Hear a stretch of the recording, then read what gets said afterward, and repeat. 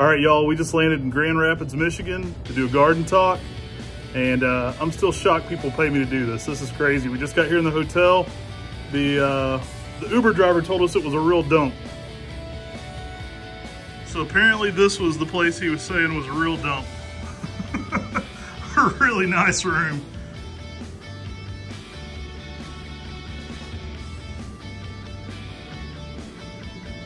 And Tim and I are speaking at the convention center here tomorrow to a group of nursery and landscape people about Japanese maples.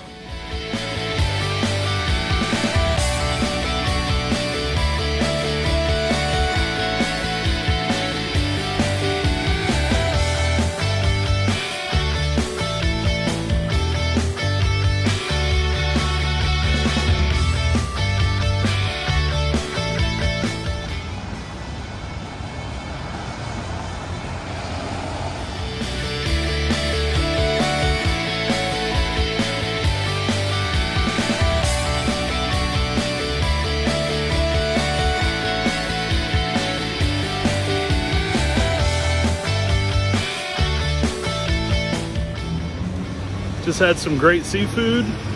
It's snowing. Let's go in for our second talk.